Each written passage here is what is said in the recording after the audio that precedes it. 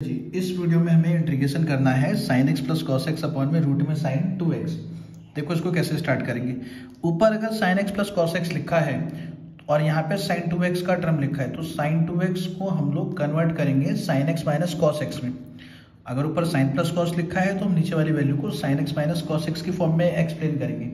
और अगर ऊपर sine x minus cos x लिखा होता तो हम नीचे sine x plus cos x की फॉर्म में इसको एक्सप्लेन करते, ताकि हम उसको टी माने और ऊपर वाली वैल्यू कैंसिल आउट हो जाए, ठीक है?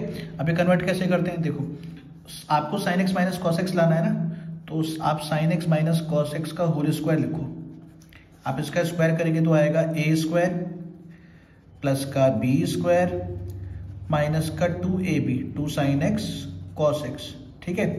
अब देखो sine square plus cos square कितना होता है? One two sine x cos x कितना होता है? Sine two x. ठीक है? Sine x minus cos x का whole square is equal to ये आ गया। अब हम यहाँ से साइन टू एक्स की वैल्यू निकालेंगे तो sine two x is equal to क्या हो जाएगा?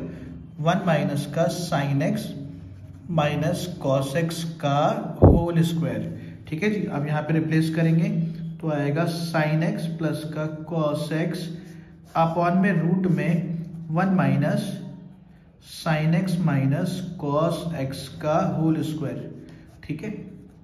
अब यहाँ पे sine x minus cos x को लेट करेंगे टी क्योंकि इसका डायरेक्ट ये है तो लेट करेंगे sine x minus cos x is equal to T derivative करेंगे इसका विथ रेस्पेक्ट टू एक्स में साइन एक्स का cos x minus cos x का minus sine x is equal to T का D T by D x तो यहाँ से D x की वैल्यू आ गई डी टी अपॉन में कॉस एक्स प्लस का साइन एक्स ठीक है जी? अब यहाँ पे इसको लिखेंगे साइन एक्स प्लस का cos x one minus T square D T upon में cos x plus sine x इससे कैंसिल आउट हो गया।